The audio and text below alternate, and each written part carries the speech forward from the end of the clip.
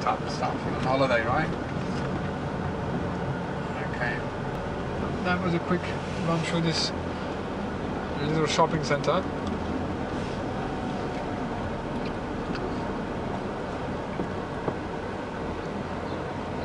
Shops are closed. It's now uh, quarter past one. Surprising, huh? Because they do have a shop, right? Quite a big shopping supermarket. I would say bigger than uh, Cascavelle actually. The Shoprite. And Pick n Pay. Both South African companies. Again, they really promote KFC here. So this is the area of really the surfing. We're going to a surfing destination.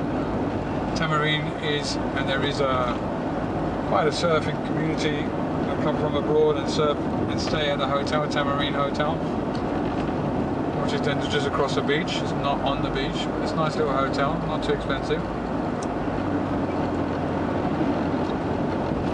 Then you've got here, this is for private, I mean you need to be a club member, you've got like a tennis courts.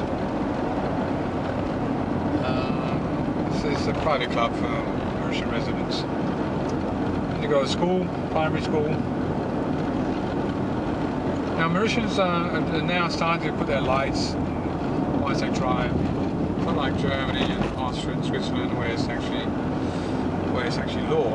Um, so yeah, when they when they see you with your lights on, don't be surprised. They'll always like you know shout down something like "far, far, far." Okay, that means headlights. Yeah? They they will just inform you of that. Here, this is where they make the salt. So on the left, you see the salt the right just before that, that was uh, where you go to Tamarin Hotel. There's a restaurant called Pizza au Feu de Bois here. There's a pizza house. Never been there.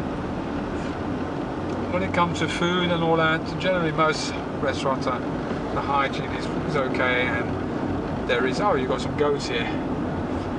Um, the hygiene is pretty good.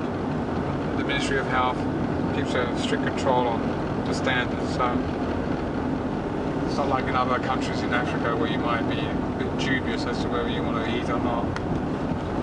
Then you got uh, Cheshire, Cheshire Homes for the old people. Here to the left you've got a doctor, which I go to. Um, try like that, if you need a doctor. Okay, buses, let's talk about buses. You can you can take a bus, it's quite an experience. Mean, you will see these buses go around bends on two wheels, and they are pretty good at it. A lot of